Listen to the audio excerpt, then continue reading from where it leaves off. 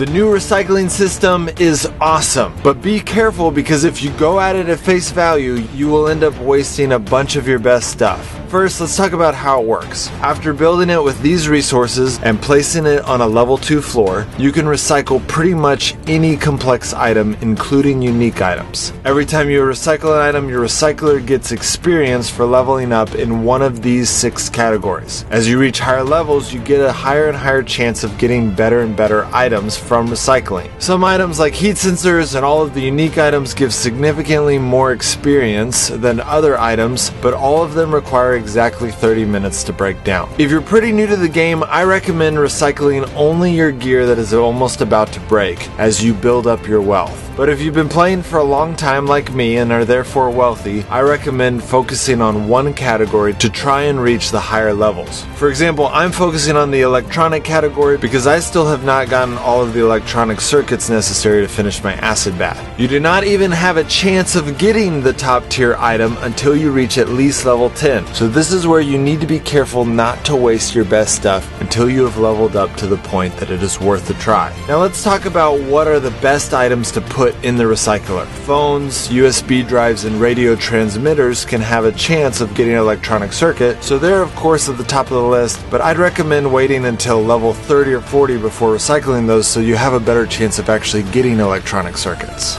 The engine you can find from the new broken down vehicle in zones can give engine parts, so that's of course an amazing item, but it does require a motorcycle to transport it. Almost broken guns, even modified ones, and almost broken SWAT gear can have a chance of giving steel. Almost broken items are pretty much worthless, so that makes these top items. Zombie truck blades and wheels and extra ATV wheels also give steel, so I'd add them on the list as well. But remember, you need to wait until you're probably level 30 or 40 in that category category before you should recycle them if you're wanting to get the steel. So those are the 9 best items, but the 10th item is whatever item you have lots of that levels up the category that you are wanting to work on. For me, this is watches because they give the highest experience of all the common electronic items. I've been putting stacks and stacks of watches in the recycler to level up my electronic category as fast as possible. After I get down to like 20 of them, I will start using my flashlights and so on and so forth. It's obviously going to take me a long time to get the three electronic circuits I need, but at least there is another avenue besides floppy disk locations. Well, that's it guys, hope that helps. I released two other videos at the same time as this one, so be sure to check those out.